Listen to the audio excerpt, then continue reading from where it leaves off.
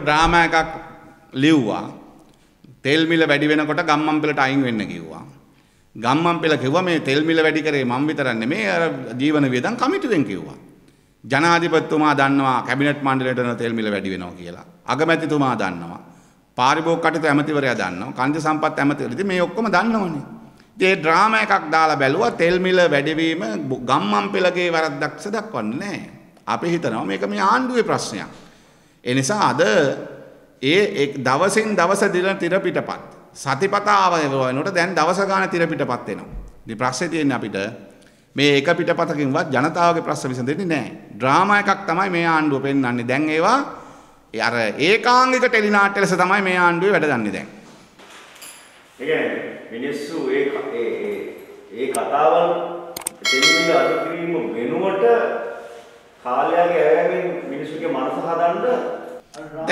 එක එක ඩ්‍රාමා එනවනේ. අපි දැක්කනේ දැන් එක එක ඩ්‍රාමා එනවා. තෙල් මිලේ ඩ්‍රාමා එක ඉවරයි. ඊට පස්සේ දැන් මේ හිරෙන් නිදහස් කිරීමේ ඩ්‍රාමා ඒවා. ඊට පස්සේ එනවා දැන් බැසිල් පාර්ලිමේන්තුවේ මේ ඩ්‍රාමා එක.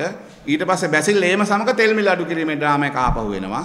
ඒක බැරි වුණාම ආපහු වෙනවා කාබනික පොහොර ඩ්‍රාමා එක එනවා. මේ එක එක ඩ්‍රාමා දවසින් දවස ඒවා එක එක වෙලාවට උඩට ගන්නවා. හැබැයි ඉතින් දැන් නම් රටේ මිනිසුන්ට මල පැනලා තියෙන්නේ.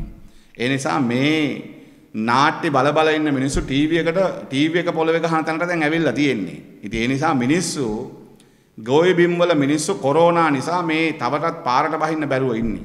වැඩ බිම් වල මිනිස්සු කොරෝනා නිසා මේ පාරට බහින්න අරගල කරන තවමත් පරිස්සමින් ප්‍රවේශ වෙමින් තියෙන්නේ. නිසා අපි ආණ්ඩුවට කියනවා මේ නාට්‍ය පෙන්වන එක නවත්තලා නාටකංකාරයෝ බලනවා මිනිස්සු දැන්. එනිසා ඔයගොල්ලෝ නාටකංකාරය වෙන්නේ නැතුව රට බාර දුන්නේ මිනිස්සු රට හදන්න රට පාලනය කරන්න. බඩු මිල අඩු කරන්න. ළමයිට ඉස්කෝලේ යන්න බැරි නම් රූපවාහිනී නාලිකා ටික උදේ උදේ තියෙන වෙලාව සල්ලි දීලා අරගෙන ළමයිට උගන්වන්න. සල්ලි දීලා අරගෙන ළමයිට උගන්වන්න. ඒක අත්‍යවශ්‍යයි. ගොවියන්ට පොහොර ටික දෙන්න නැත්නම් පිට රටින් එළවලු ගේන්නත් වෙනවා, වීගේ හාල් ගේන්නත් වෙනවා. ඒ නිසා දැන් ආණ්ඩුව දැන් ඊයේ පෙරේද කියන්න පටන් ගත්තා මේ හාල් හංගලා තියෙන්නේ. හාල් හංගලා තියෙන්නේ අපි දැන් හාල් ටික හංගලා තියෙන ඒ නිසා තමයි පිට රටින් ගේන්න වෙන්නේ කියලා.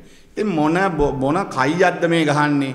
ජාතික ආරක්ෂාව ගැන කතා කරනවා, ත්‍රස්තවාදය හොයන එක ගැන කතා කරනවා, බෝම්බකාරය හොයන එක ගැන කතා කරනවා. මේ වී මෝල් වල වී හංගලා තියෙනක හොයාගන්න බැරි ආණ්ඩුව කොහොමද ජාතික ආරක්ෂාව ගැන කතා කරන්නේ? මිනිස්සුන්ට බත් වේල කන්න දෙන්න වී මෝල් ටික තියෙන වී ටික එහෙනම් අරන් කියන්න එපා. රයිට් වී වල මිල මෙච්චරයි මේ මේ තැන් වල මෙච්චර වී තියෙනවා එහෙනම් දෙන්න කියලා. දෙන්න බෑ.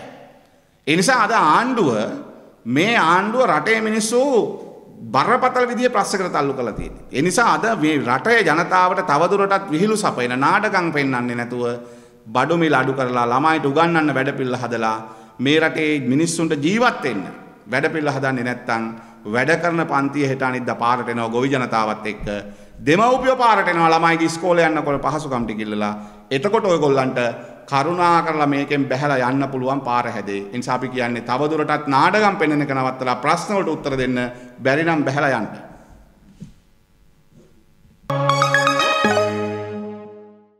මෙවැනි උණුසුම් පුවත් වීඩියෝ කාටත් කලින් දෙනපතා දැනගන්න බෙල් සලකුණ ඔබා SL බ්‍රේකින් සබස්ක්‍රයිබ් කරන්න.